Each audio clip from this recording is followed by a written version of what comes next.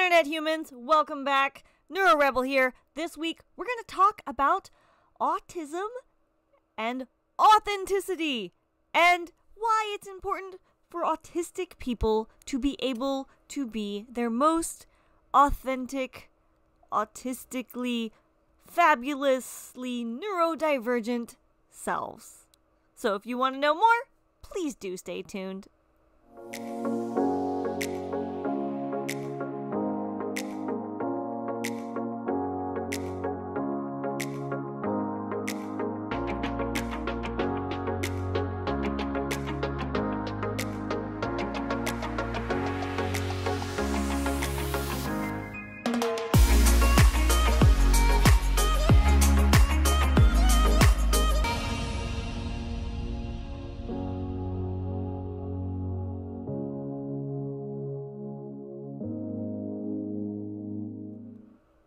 Authenticity is defined by dictionary.com as not false or copied, genuine, or real.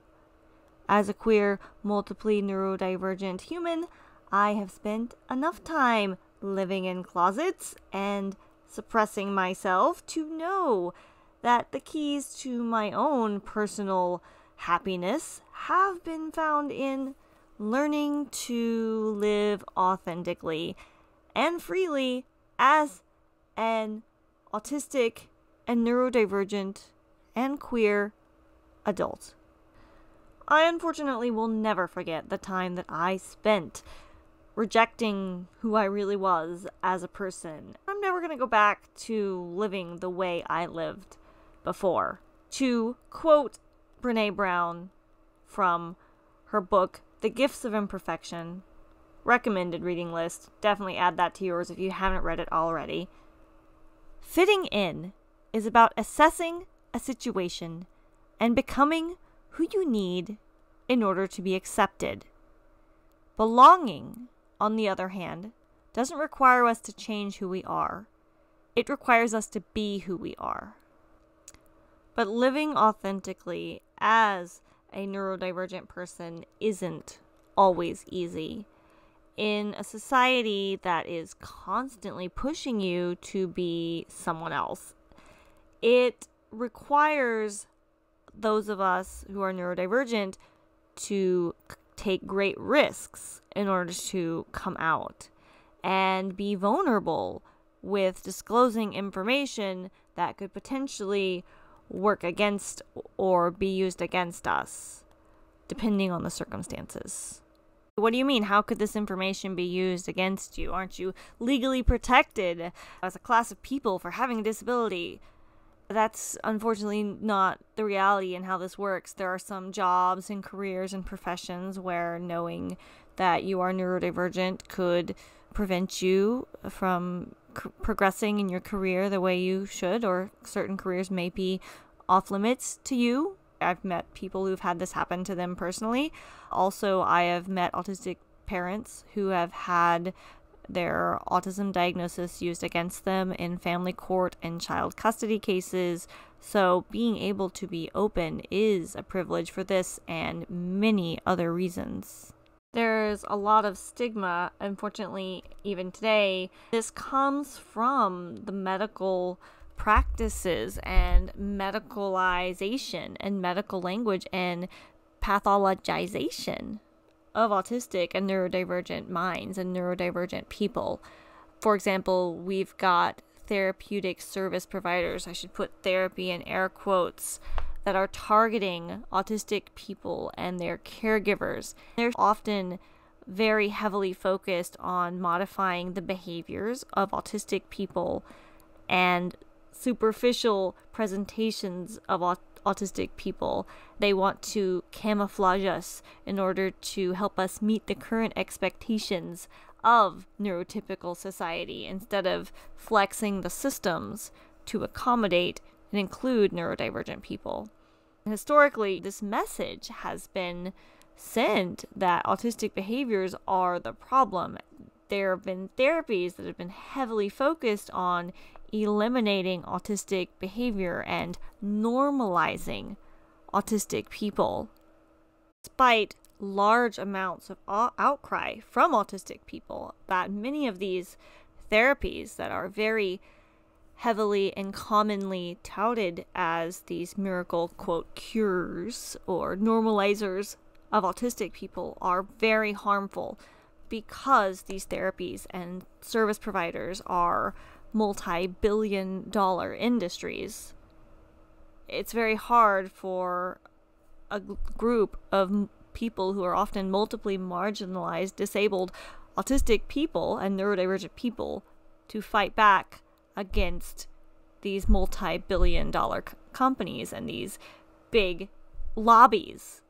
Because, ironically, thanks to a lot of these therapies, many of us are not doing well and are underemployed and living below the poverty line. The goal to modify autistic people's behavior in favor of behavior that's not natural to an autistic person is contradictory to what would be needed for any human to be able to live an authentic lifestyle, which is something that all humans need and crave in order to be successful. We need to be accepted and appreciated as we are, met where we are for who we are. And then that leaves room for growth on top of that. But we cannot grow if we are constantly being stunted. As a queer neurodivergent person, I feel it is important for me to take this opportunity to mention that ABA, one of the therapies that is often pushed on parents through fear mongering tactics, saying they need to have early intervention and you must act right now. There's no time to waste or you're losing time. Has ties to gay conversion therapy and uses similar methods that were used to make LGBTQIA kids less queer, air quotes again, make autistic kids seem less autistic and has goals to help the child appear more normal. Even though many people now accept that these therapies are harmful to LGBTQIA people, ABA is still widely recommended by doctors and medical providers as treatment for autism, despite evidence that conversion therapy programs can instill feelings of rejection within children and can be extremely harmful to people.